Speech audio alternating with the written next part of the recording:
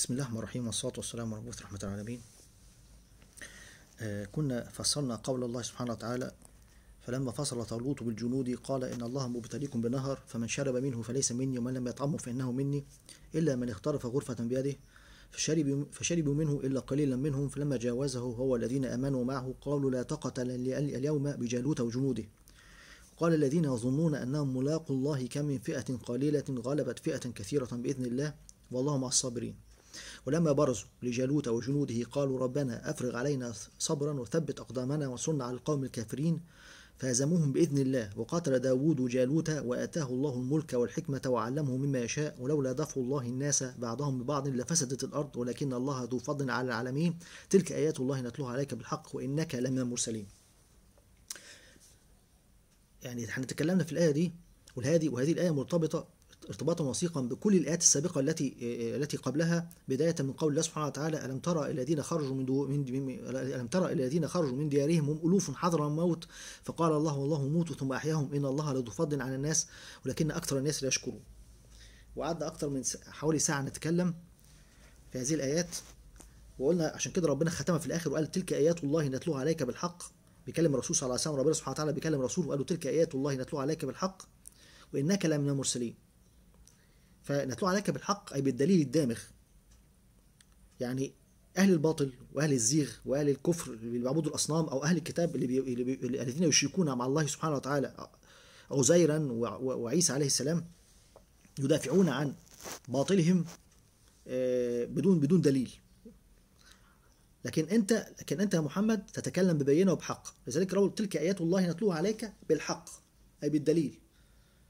ولما كنت ولما أهل الكتاب يرجعوا يرجعوا لكتبهم هيلاقوا كل الحاجات دي مكتوبة. يعني الآيات دي كلها فيها قصة سيدنا داوود مع جا مع جا مع جالوت وطالوت والنبي شمويل. وفيها تفاصيل كثيرة لا يعلمها إلا نبي لأنها موجودة في كتب أهل الكتاب. وبالتفصيل والرسول صلى الله عليه وسلم رجل أمي لا يقرأ ولا يكتب.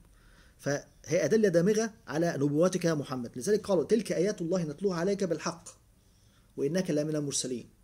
وده دليل على إن أنت من المرسلين زيك زي زي, موسى وزي وعيسى بل أنت أفضل بل أنت أفضل منهم.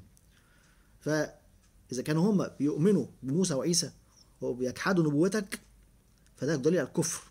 بالدليل هذه الآيات دي كلها لأنها لأنها موجودة في كتبهم بالتفصيل ولا يعلمه إلا النبي. فتفاصيل كتيرة جدا. قعدت أتكلم حوالي ساعة عن عن تفاصيل مش موجودة في كتب أهل الكتاب. والرسول راجل أمي ما يعرفش عارف الكلام ده كله منين. عشان كده قال له وإنك لمن المرسلين زيك زي موسى وعيسى. ليه بيؤمنوا بموسى وعيسى وما بيؤمنوش بيك؟ فعشان تلك آيات الله نتلوها عليك بالحق بالدليل دامغ وهم ما عندهمش وهم بيدافعوا عن عن الهتهم آلهتهم بالباطل بدون ادله طيب بس في ثلاث نقط أنا نسيت نسيت نسيت ان أتكلم عنهم. النقطة الأولى في قول الله سبحانه وتعالى قال الذين يظنون أنهم ملاقوا الله كم من فئة قليله قليلة غلبت فئة كثيرة بإذن الله. والله مع الصابرين نسيت نسيت أتكلم عن كلمة يظنون. الكلمة دي مهمة جدا. كلمة يظنون ربنا سبحانه وتعالى في بيذكرها في القرآن كتير جدا. لكن لكن لها معاني مختلفة. في اللغة العربية بصفة عامة معناها الشك مع الترجيح. يعني معناها إيه؟ لما أقول أنا أظن إن أنا شفت إن إن إن, إن, إن اني شفت فلان امبارح. أو اظن ان فلان رجع من السفر امبارح. أنا مش متأكد لكن أنا برجح. لكن لو قلت أنا اظن انه ما رجعش يبقى أنا برجح انه ما رجعش. لكن أنا مش متأكد 100% يبقى دي معنى كلمة اظن. الترجيح مع الشك. لكن في اللغة لكن في القرآن لها معنى تاني. لما تذكر مع أهل الإيمان معناها اليقين. ولما تذكر تذكر مع أهل الشك وأهل الزيغ معناها التكذيب. ربنا بيكذبهم. مش معناها الشك مع الترجيح خلي بالكم. ليه؟ لما ربنا سبحانه وتعالى بيقول مثلا في سورة الزخرف والقرآن يفسر بعضه بعضا. آه ولو شاء الله ما عبدناهم ما لهم بذلك من علم إن هم إلا يظنون. ما شاء الله مع يعني هم بيعبدوا ملائكة وبيسموها بنات الله. وبيقولوا ربنا هو اللي هدانا إن إحنا نعبدهم. ولو ربنا ما كانش عايز نعبدهم ما كناش عبدناهم. ربنا بيقول لهم كنتوا كذابين. وبتقولوا الكلام ده بالظن. يعني إيه بالظن؟ يعني بهواكم بدون دليل. يبقى لما ربنا يكتب يقول كلمة الظن مع أهل الزيغ والكفر يبقى معناها التكذيب. مش معناها ترجيح مع الشك. لكن لما يقولها مع أهل الإيمان يبقى معناها اليقين. فلذلك لما ذكر في سورة البقرة وقال قال الذين يظنون أنهم ملاقوا ملاقوا الله. اللي هم الناس اللي كانوا مع مع مع طالوت وقالوا إحنا عطشانين عايزين نهر عشان نشرب. فطالوت راح لسيدنا شمويل فدعا زي ما بينت بالتفصيل طبعا مش هقدر أتكلم تاني. فسيدنا شمويل دعا الله سبحانه وتعالى ف ربنا بعت لهم نهر. فعشان يختبرهم قال لهم اللي هيشرب شربة هيبقى معايا هيكمل معايا. واللي هي- واللي هي- واللي هيغرف وال- وال- واللي هيعب منه عب ويشرب كتير يبقى يبقى يبقى مش هيكون معايا. ليه؟ لأن بني إسرائيل فيهم منافقين وفيهم كفار وفيهم وفيهم فربنا سبحانه وتعالى لازم يصفيهم. وكانوا 80 ألف واحد. ربنا صفاهم خلاهم 4000 واحد بس. مع ذلك ال 4000 واحد دول هزموا جالوت وجنوده مع إنهم كانوا كثره وكانوا قوة وكان معروف عند أهل عند أهل هذا أهل هذا الزمان إن جالوت ده كان قوي جدا لأن جالوت ده من العماليق اللي هم من نسل عاد اللي هم قاعدين في بيت المقدس. واللي سيدنا موسى اللي سيدنا يوشع بن نون هزمهم هزمهم لما طلعوا من التيه لما كانوا في لما معاصوا ربنا سيدنا موسى ما رضوش يحاربوا معاه وربنا حبسهم في التيه 40 سنة وماتوا. وطلع الجيل الجيل الجديد اللي هو أصلح من الجيل القديم وحاربوا مع سيدنا يوشع بن نون وهزموهم ود- ودخلوا بيت المقدس. لكن فضل منهم آه، بواقي. فهم كانوا هم بيتميزوا بقوة الجسم يعني اجسامهم قوية جدا جدا طول بعض. ف آه، فأهل الإيمان اللي هم آه، آه، هم ما رضوش يشربوا إلا غرفة لأن ربنا بيقول إيه؟ ف... ف... آه، إن الله مبتليكم بنهر فمن شرب منه فليس مني. ومن لم يشربه ف... فم- فمن شرب منه فليس مني ومن لم يشربه فهو مني إلا من اقترف غرفة بيده. ومن لم يطعمه فإنه مني. يعني ما يدوقهوش. إلا من اقترف غرفة بيده يعني ياخد منه غرفة واحدة. إحنا قلنا الغرفة كلمة غرفة معناها كفين يقبلوا كفين مع بعض. فشربوا منهم إلا قليلا منهم. ف 76000 واحد شربوا و 4000 واحد ما شربوش. الناس اللي شربت وعبت فضلت عطشانه وعطشت أكتر. والناس اللي خدت شربة واحدة بس لانها عندها يقين ارتوت هم دول بقى اللي ربنا سماهم فلما جاوزه هو والذين آمنوا معه. عشان كده ما قالش آه، آمنوا معه يعني كان عندهم يقين. لما شافوا جالوت والناس اللي معاه فقالوا لا طاقة لنا اليوم اليوم بجالوت وجنود. ده مين؟ ده الناس اللي عندهم إيمان. فالناس اللي هم اولو العزم والعلماء قالوا لهم إيه؟ قال الذين يظنون أنهم ملاقوا الله. كم من فئة قليلة غلبت فئة كثيرة بإذن الله والله مع الصابرين. قال لهم قالوا لهم آه، يعني هنا بقى يظنون معنى إيه؟ يظنون معناها متأكدين إن في أخرة في حساب وفي جنة وفي نار قال الذين يظنون أنهم ملاقوا الله يبقى شوف هنا يظنون يبقى اذا يبقى هنا يظن- يظنون هنا مش معناها الترجيح مع الشك لا ده معناها اليقين معناها اليقين طب ليه ربنا بيستعمل يظنون؟ ليه ربنا ما قالش قال الذين يوقنون مثلا ليه ربنا قال يظنون؟ ليه؟ لأن إحنا ما شفناش الكلام ده بعينينا إحنا متأكدين من الأخرة متأكدين من وجود الله سبحانه وتعالى. لكن شفناه بعينينا إحنا زي ما إحنا بنقول في اللغة العامية إحنا عرفنا ربنا بالعقل. إحنا عرفنا ربنا سبحانه وتعالى بالأدلة الدامغه بالقرآن وبالسنة وبالرسول صلى الله عليه وسلم والأحاديث المتواترة. لكن هل رأينا ملك الموت؟ هل رأينا الجنة بأعيننا؟ هل رأينا النار بأعيننا؟ لم نرى شيئا. لكن هو ده بقى الفرق بين اليقين وعين اليقين. لذلك حتى الرسول صلى الله عليه وسلم رغم إن هو شاف الجنة والنار بعينه ووصل إلى سدرة المنتهى ودخل الحضرة الإلهية. لكن ربنا قال له إيه؟ في آخر سورة الحجر واعبد ربك حتى يأتيك اليقين. يعني حتى يأتيك ملك الموت. ليه؟ لأن إحنا لما هنشوف ملك الموت. الوضع يختلف. هتشوف هتشوف مقعدك في الجنة لو أنت من أهل الجنة والم- والملك والملك والملك هيقول لك وانت في ال- في القبر هيبشرك. هيقول لك هذا مقعدك في الجنة مقعدك في الجنة قد أبدلك الله هذا مق... مقعدك وهيوريك مقعدك في النار. هيقول لك هذا مقعدك في النار قد أبدلك الله به بم- بمقعد في الجنة أو العكس صحيح والعياذ بالله. لأن كل واحد منا له مقعد في الجنة ومقعد في النار. الناس اللي هتخش الجنة هتورث مقاعد الناس اللي هتخش النار والعكس صحيح فهو ده بقى اليقين. ده, ده, ده, ده عين اليقين. عشان كده ربنا دايما يقول يظنون. مع انهم مع إن إحنا متأكدين. بس في تأكد أكبر إن هو ساعة ما تشوف ملك الموت. اللي هو اليقين الكامل هو الكمال لله وحده. لذلك ربنا بيقول إيه؟ يبقى اذا لما كلمة يظنون تذكر مع أهل الزيغ والكفر مش معناها شك. ده معناها كلام من غير علم. معناها كذب والعياذ بالله. اذا ظن ظن بدون دليل هو كذب.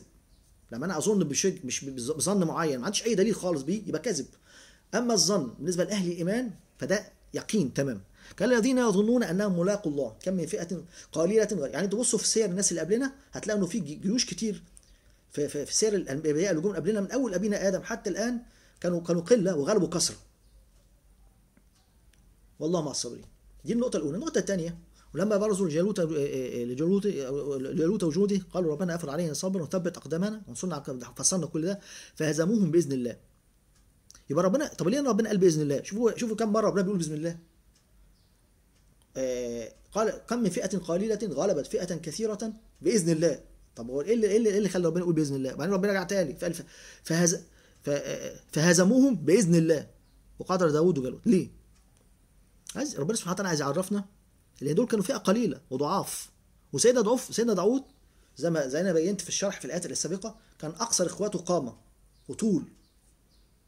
وجالوت كان قوي جدا وطول, طول, طول بعرض يعني بع- بعض الناس بتوع, أهل الكتاب قال لك دماغه بتوصل للسحاب. طب إزاي داوود انتصر وقتله؟ بقدرة الله. يبقى اذا النصر من عند الله والهزيمه من عند الله؟ يبقى عشان ما يظنش القارئ بتاع قارئ القرآن إن النصر اللي حصل ده كان بسبب طالوت. لأن طالوت كان قوي جدا هو كمان وربنا سبحانه وتعالى آه، جابه لبني إسرائيل عشان يقود المعركة. وبعدين جاب سيدنا داوود وجعله سببا للنصر لأن هو قتل قتل جالوت. لكن كل ده ربنا بيقول لنا لا تتعلقوا بالأسباب الدنيوية لكن تعلقوا بال- بالمسبب لأن قلوب الناس بتتعلق بالأسباب الدنيوية وتنسى وتنسى المسبب اللي هو الله سبحانه وتعالى. فأوعى أوعى تنسب النصر لسيدنا داوود. النصر ده حسب بسيدنا داوود أو بسبب طالوت أو بسبب خط سيد لكن انسب النصر لله. فربنا عايز يذكرنا دائما قال بإذن الله مرتين ان إن النصر والهزيمة من عند الله وما إحنا إلا أسباب. لذلك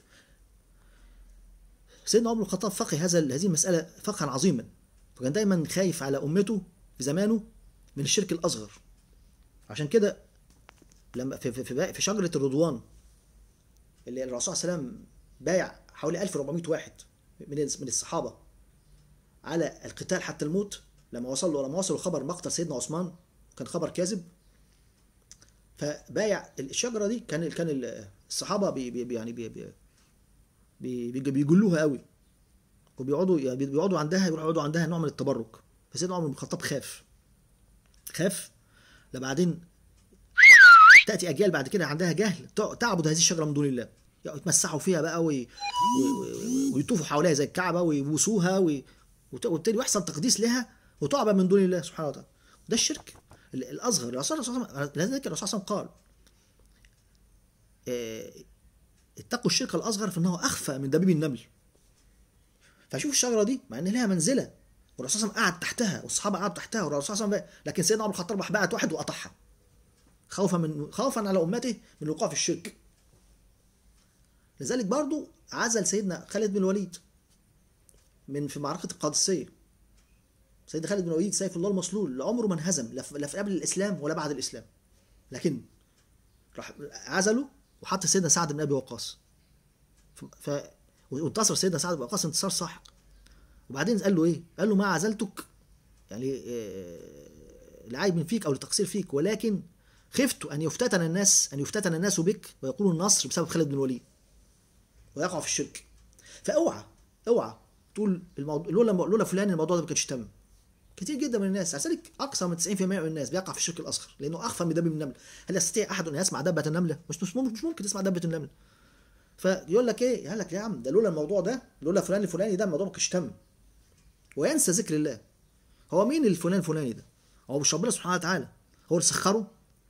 ده مجرد سبب. لذلك ربنا سبحانه وتعالى. كم من فئة قليلة. شوفوا العلماء بيقولوا إيه؟ كم من فئة قليلة غلبت فئة كثيرة بإذن الله. يبقى مكتوب في اللوح المحفوظ. يقولوا ان الكلام ده مكتوب في اللوح المحفوظ وربنا مقدره ما كانش هيحصل. فهزموهم بإذن الله. وقدر داوود وجابوا عشان عشان تفهم إن النصر والهزيمه من عند الله سبحانه وتعالى وما وما كان وما داوود عليه السلام وما طالوت إلا هم أسباب فقط. وقدر داوود وجالوت وأتاه الله الملك والحكمة. طيب إحنا قلنا أتاه الله الملك والحكمة معناها إن سيدنا داوود هو الوحيد أو أول واحد من بني إسرائيل ربنا اداله جمع بينه وبين الملك والنبوة. العلماء قالوا الحكمة النبوة. يعني سيدنا داوود بقى نبي وملك في نفس الوقت. كان دايما وأنا فهمتكم قلت لكم قبل كده ان الأسباط اللي هم أولاد سيدنا يوسف اخواته سيدنا يوسف وإخواته 11 12 واحد. اتجوزوا استوطنوا في مصر واتجوزوا وخلفوا أولادهم اتجوزوا وخلفوا لغاية ما عملوا بني إسرائيل. اللي وصل تعدادها إلى مليون في عهد فرعون. إيه، كل واحد من بني إسرائيل كل واحد من إخوات سيدنا يوسف له أولاد وأحفاد. ده اسمه سبط سبط يعني فرع. زي ما إحنا بنس- إحنا بنسمي الموز الموز بنقول سبطة الموز. يعني حتى كثير من الناس. ف والأصل هو يعقوب اللي هو إسرائيل. فبنيامين كان دايما بيطلع من نسله العلماء. يهوذا كان دايما بيطلع من نسله الملوك. إيه، لاوي اخو أخو أخو سيدنا يوسف الكبير كان دايما يطلع من نسله الأنبياء. وده تفسير قول الله سبحانه اللي هو آه، وان له الملك علينا ونحن احق بالملك منه ولم يؤت سعه من المال يعني بني إسرائيل اعترض زي ما زي ما فهمتكم قبل كده على نبوه شكوا في نبوة شميل وشمويل وشكوا كمان في ملك طالوت وقالوا له جايب لنا واحد فقير كان من سبط العلماء اللي هو بنيامين وما هوش من ولاد لاوي اللي هو اللي هو اللي هو, الأنبياء ولا هو من سبط الملك ولا معاه فلوس. يبقى إزاي ملك علينا؟ مع ان مع إن اللي جايب لهم الكلام ده وبالدليل هو شمويل النبي اللي هم اختاروه. لكن زي ما قلنا من عاده بني إسرائيل الشك والعناد والتكذيب في كل شيء. ف ف وعلمه الله الكتاب. يعني فربنا قال هنا وأتاه الله وعلمه وقاتل وقال داوود جالوت وأتاه الله الملك والحكمة. فقال له أتاه الله الملك والحكمة؟ يعني أول واحد ربنا يديله يجمع يجي يبقى يجمع يجمع دايما يبقى في بني إسرائيل لها ملك ولها نبي. لكن الملك والنبوة ما بيكتبوش واحد. لكن هو سيدنا داود أول واحد ربنا يديله الملك وبعض العلماء قالوا أتاه الله الملك والحكمة آه، آه، أنه علق أنه كان يعني يعمل بما يعلم. يعني جمع جمع بين العلم والعمل. لكن طبعا التفسير الأول أصح. التفسير الأول أصح. و- وبعدين قال إيه؟ وعلمه مما يشاء فيبقى الحكمة هنا العل- العلم ولا النبوة؟ يبقى الأصح إنها النبوة. عشان كده- ربنا قال وعلمه مما شاء. يبقى ربنا مش هيديك كلمة تاني. ربنا قال وأتاه الله الملك والحكمة. يبقى الحكمة هنا مقصود بها النبوة. وعلمه مما شاء. العلماء قالوا بقى تفسير كلام كثير جدا في علمه مما شاء. في نقطة مهمه هامه أنا نسيت أقولها في علمه مما شاء. بعض العلماء قالوا صنعة الدروع. أول واحد سيدنا يعمل الدروع سيدنا داوود وكان بيعملها آه، آه، كانت دايما الدروع بتبقى لها لها حجم واحد ثابت. فبعض الناس اللي بتكون أجسامهم كبيرة بيبقى بت- بتخنقهم. وبعض الناس أجسامهم رفيعة بتبقى ملقلقه بتبقى ملقلقة فيهم. لكن سيدنا داوود هو أول واحد. يعني يخترع الرمان بيلي ويجع وي- وي- ويقدر يكبر ويصغر في حجم ال- ال- الدرع اللي هو بيحمي الإنس- المقاتل أثناء القتال. وده وده تفسير قول الله سبحانه وتعالى والقران يفسر بعضه بعضا في سورة آه، صاد. ولقد آتينا داود منا فضلا يا جبال اوبي معه والطير وألنا له الحديد. شوف ألنا له الحديد يعني الن له لما يجي يعمل لما يجي يصنع الدروع الحديد في إيده العلماء قالوا الحديد في إيده كان بيبقى عامل زي الخيط والنا له الحديد أن أعمل سابغات وقدر في السرد وأعمله صالحة إني بما تعملون بصير. أنا أعمل أنا أعمل سابغات يعني سدو- آه، دروع تز سابغة تحمي المقاتل وقدر في السرد. السرد يعني إيه؟ الرمان بيلي قد- قدره بحيث إن هو تقدر تتحكم فيه تخليه ضيق أو واسع بحيث إن المقاتل يلبس الدرع وهو مستريح. فده من من خصوصيات سيدنا داود أول واحد اخترع. فعلمناه صنعة الدروع علمهم ما شاء. بعض العلماء قالوا كانوا كان كان كان لا كان لا يأكل إلا من عمل يده. كان كان كان- حرفي كان نجار وكان وكان. بعض العلماء قالوا عل- علم علم علمناه منطق الطير. كما قال كما قال سيدنا سليمان تو- سورة النمل. آه، وعلمنا منطق الطير وأوتينا من كل شيء إن هذا اللي هو الفضل المبين. فسيدنا سليمان وسيدنا داود كان بي كان بيعرف يكلم الطيور ويكلم ويكلم الحشرات النمل وكانت بتف- بتفهمه ويفهمها. ف و... وقال وقالوا بعض العلماء علمه الزبور. يقرأ الزبور بصوت جميل جدا لدرجة إن الطيور في السماء تقف وتحلق وتردد الزبور مع سيدنا داود والجبال تسبح وسيدنا داود يفهم كلامها ويسمعها والوحوش والوحوش تحشر إلى سيدنا داود الأسود والنمور تقف وتسمع. فده ده, ده, ده بعض التفاسير. آه، وأيضا ما- كما قالوا كبار المفسرين سيدنا عبد الله ربنا اداله سلسلة غريبة جدا سلسلة. آه، لونها لون النار مرصعة بالذهب عبارة عن كور. آه، طرفها الأول عند الصومعه بتاعت سيدنا داوود والطرف الثاني كما قال عبد الله بن عباس مربوطة في- المجرة والفلك. مربوطة في المجرة والفلك يعني معناها لا ليس لها حد في الطول طولها كبير جدا. طبعا المجرة والفلك يعني إحنا عايشين في مجرة التبانة دي. اللي فيها كوكب الأرض وفيها ملايين المج... م- في- المجرة مجرة واحدة بس اللي هي المجرة اللي إحنا عايشين فيها دي في 100 ألف مليون مجموعة شمسية. يعني لكن ده كلام عبد الله بن عباس إنها الطرف الثاني مربوطة في في الم- في المجرة والفلك يعني كان بيقول لك إنها يعني لا طول لها. السلسلة دي كانت غريبة جدا. كانت أشبه بتابوت السكينة اللي كان عند بني إسرائيل. لأن قلنا قلنا تابوت السكينة ده كان فيه متعلقات اللي كان ده ال- النعالين النعالين بتوع سيدنا نوح والنعالين بتوع سيدنا موسى والنعالين والعصا بتاعت موسى والعصا بتاعت سيدنا هارون عليه السلام والإمامة بتاعت سيدنا هارون وفيها الأرضخ والألواح بتاعت ال- الأرضاح والألواح بتاعت ال- التوراة وكان فيها ريح الخجوج أو فيها السكينة اللي هي كانت بتتكلم ويستفتوها في المس... في المسائل الشرعية وترد عليهم وكانت وكانت في المعركة بتقود المعركة وقبل النصر كانت بتصيح صيحه فكانت تابوت السكينة ده كان مهم جدا بالنسبة لهم وده صلب بسبب معاصي بني إسرائيل. برضه السلسلة دي كانت عظيمة جدا. من الحاجات اللي, اللي اداها ربنا سبحانه وتعالى لسيدنا داود. فكانت السلسلة دي ب... إيه إيه إيه لما يحدث لما يحدث حدث في بني إسرائيل بتصلصل ويكون لها جلجلة فسيدنا داود يعرف إن حدثت حاجة ويعرف اللي حصل بسبب السلسلة دي. وكان من صفات السلسلة دي إنه لا يمسها صاح- صاحب وعاها إلا برئ. يعني واحد أعمى يمسها يمسها يشفى. واحد أبكم يشفى. اي واحد صاحب وعاها وكانوا بيحتكموا إليها. فكان ال- الصادق يعرف الصادق من الكاذب. فلو واحد ادعى على واحد ادعاء كاذب ويجيبوا الاثنين يقول له خد السلسلة امسكها. لو كان كذاب يجي يمسكها ما يعرفش يمسكها. الصادق يمسكها يعرف يمسكها. فطبعا دي دي بفضل الله سبحانه وتعالى ونازلة نازلة هبة لرب العالمين لسيدنا داوود. لكن شوفوا الجحود ونكران بني إسرائيل. فاحد في أحد آه، الأزمنة ربما بعد بعد زمن سيدنا داوود أحد الملوك طمع في جوهرة من واحد واداها له أمانة فجحدها وخدها. فالراجل قال له رجع لي الج- الجوهرة بتاعتي. قال له مالكش حاجة عندي. ف احتكموا للسلسلة. فالراجل عمل إيه؟ من من مكر يعني شوف المكر وإن كان مكرهم لتزول منه الجبال كما قال رب العالمين سبحانه وتعالى. فراحوا احتكموا للسلسلة فراح حاطط الجوهرة دي في عكاز وعمل نفسه إن هو بيتعكز على العكاز دوت وجه. ف قالوا آه، للراجل اللي هو بيدعي عليه اللي هو بيقول له صاحب الجوهرة قال له امسك امسك ال- السلسلة. فمسك السلسلة. فجاء الراجل التاني عشان يمسك السلسلة فراح مدي العكاز للراجل ال- المدعي وقال له خد العكاز ده لغاية ما اعرف امسك السلسلة. وكان حاطط فيها الجوهرة. إذا هو رجع الجوهره للراجل صاحبها وراح ماسك السلسلة فعرف يمسكها. فبني إسرائيل شكت قالت لا دي السلسلة في حاجة مش مظبوطة. المدعي والمدعي عليه الاثنين مسكوا السلسلة. يبقى السلسلة دي ما فيهاش في حاجة مش مظبوطة. فجحدوا السلسلة وقالوا لا دي دي دي, دي, دي فكانت فعقابا لهم من رب العالمين سبحانه وتعالى صحوا يوم ما لوهاش فشوفوا الجحود ونكران النعمة.